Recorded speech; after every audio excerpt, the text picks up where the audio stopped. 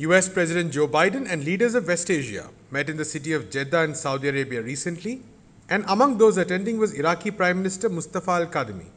His presence in the summit comes at a key time for Iraq, which is going through a unique political crisis. No government has been formed after the elections, which took place in October, and neither has a president been elected. The supporters of Muqtada al Sadr, who were the largest bloc following the elections, resigned in June but this has not worked in favor of al Sadr in any way. What lies ahead for Iraq? Who are the major political players and what are their strategies? Rania Khalek of Breakthrough News explains. So, the Iraqi caretaker Prime Minister Mustafa Kadhimi um, is kind of the odd man out at this uh, meeting with Biden in Saudi Arabia because he leads a country that has not only not normalized relations with Israel, it's actually criminalized normalization with Israel. And in fact, Iraqi resistance Shia factions are worried. Uh, they're thinking, you know, why would a caretaker Iraqi prime minister be going to Saudi Arabia to a summit, which has been promoted as an Arab NATO, right? And an alliance of like the pro Israel countries in the region. So they've actually been condemning Kadhimi's decision to attend especially since Biden is actually coming from Israel to came from Israel to Saudi Arabia. So it's all very suspicious to them. And so his attendance is very, very controversial in Iraq. Um, but also there's an entire backdrop, you know, of internal Iraqi dynamics taking place here. Uh, is an interesting character because he's actually quite, he has good relations with the Iranians. Um, and he has two successes to claim as the prime minister. First, you know, he resisted the Trump administration's attempt to create a civil war between the government and Shia parliamentary forces called the PMF. So that's one. And second, Kadhimi has been successfully mediating an improvement of relations between Saudi Arabia on one side and Iran on the other. And Kadhimi is in a unique position of not just having good relations with the Iranians, he's actually one of America's favorites in the Middle East. You know, the Americans actually installed him as head of Iraqi intelligence and then pushed for him to become prime minister. In fact, the Americans have been kind of obsessed with Kadhimi obtaining another term in government formation negotiations, which, uh, as I've mentioned before, have been ongoing since last October of last year, since the elections. Now, unfortunately for the Americans, it's not actually looking good. And Kadhimi is unlikely to make it as the next prime minister. Although, like I mentioned, ironic, ironically, the Iranians are among his biggest backers as well, because you know, he does serve their interests too. And he made sure that Iraq was given sanctions waivers in order to pay Iran for electricity it provides to Iraq, uh, among other things. Now, the dominant Shia players in Iraq resent Kadhimi uh, for, as they see him, being weak and for giving this firebrand populist cleric, Muqtada Sadr, everything he's wanted. Uh, Sadr's rivals are actually gathered in this umbrella organization called the Framework, which is basically like an alliance of uh, the Shia, uh, the Shia groups that, except for Muqtada's group. Uh, so all the Shia parties except for him, and uh, they're backing other candidates who will also be accepted by Iran and America which has been the tradition in like post Iraq 2003 Iraqi politics is that the prime minister is accepted by both the Iranians and the Americans. So this is all happening, of course, in the backdrop of a really big story, which is Muqtada Sadr resigning.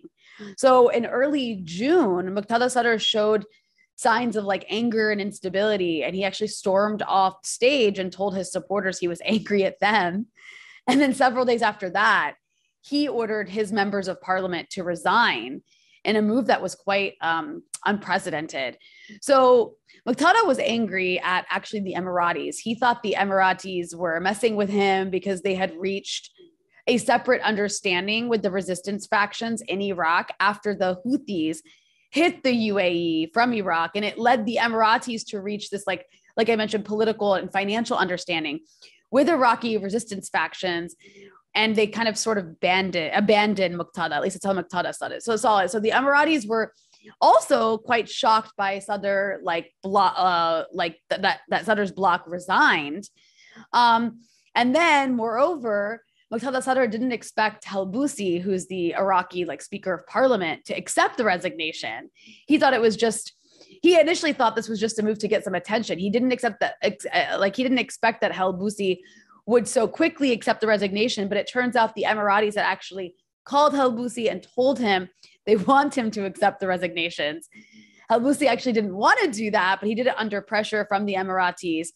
Uh, so it was understood that they had made this deal with Iran and the other Shias to basically protect Emirati interests or interests, and Muqtada was not happy with this. So as a result, members of the framework that I mentioned, the dominant Shia parties, uh, aside, not including Muqtada, gained do- dominance over parliament and proceeded with the political process as if Sadr didn't control the country's largest and bloodiest militia. And so on everybody's mind was this concern that Muqtada would send his men on the street and cause violence. But uh, militating against this was the fact that he would have no religious or political legitimacy for this kind of move. You know, he'd gained the largest share in parliament. He tried and failed to form a government. Um, his own Sunni and Kurdish allies did not cooperate, and he couldn't persuade the independents. And so he took the seemingly political, politically suicidal decision to order his MPs to resign. So provoking violence would have would be like rejected completely by the Shia clerical establishment in Najaf and the Iraqi population.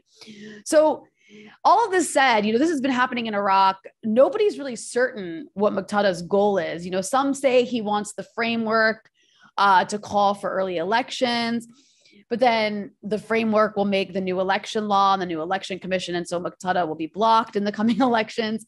Others say he wants to bring the system down, but he can't do it by force for the reasons I mentioned. You know, and the Shia factions are actually stronger than Muqtada if he's out of the government.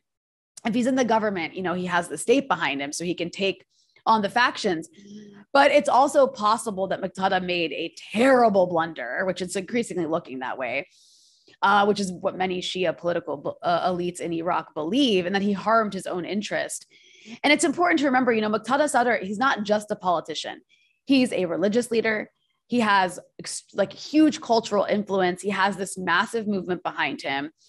And he has aspirations that are larger than just mere politics. I mean, his control of his street did start to dwindle after the 2019 and 2020 protests. And actually, the turnout to his protests and gatherings was less than in the past.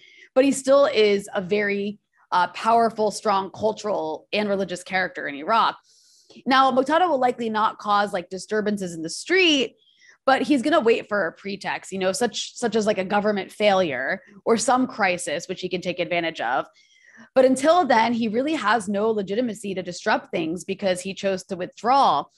So again, it's hard not to see Muqtada's decision as this like terrible blunder that may even cause him to lose some support.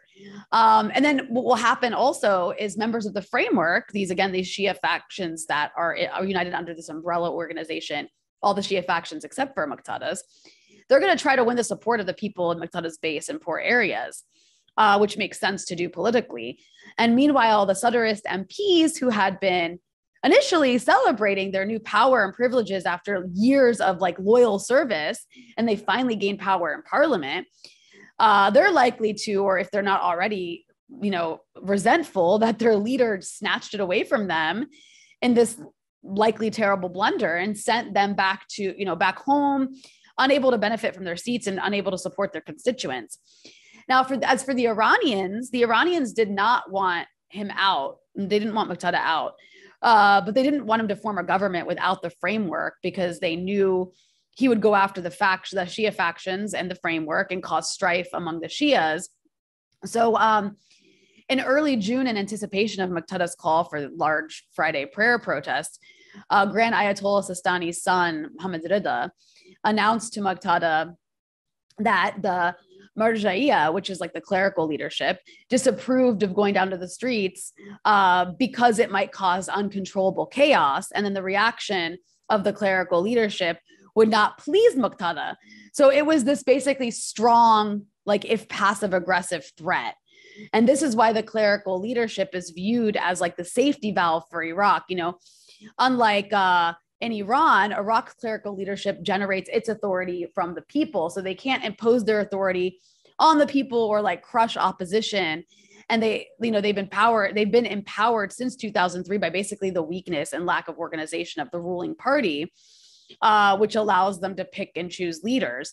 So the Shia ruling elite's failure to basically create a strong leader or a strong system has led to the rise of a strong, what's called a Hawza, and specifically a strong Sistani, and empowered, you know, he's not empowered by force of his personality or charisma, but just by circumstances and the institutions which promoted him and have basically led him to become the embodiment of Shia leadership in Iraq. Um, so, you know, what's expected in Iraq is that the Kurds will announce an agreement over president who will then provide preside over the selection of like a Shia prime minister who will be agreed upon by the Shia factions. However, Iraq has so many bickering factions that really like anything is possible. Uh, and this le- might get delayed many more months, in which case, back to America's boy and also somebody Iran likes Kadhimi gets to stick around a while longer as the caretaker prime minister. But because of all this, you know, chaos happening in the background, it's unlikely that he will be the next prime minister.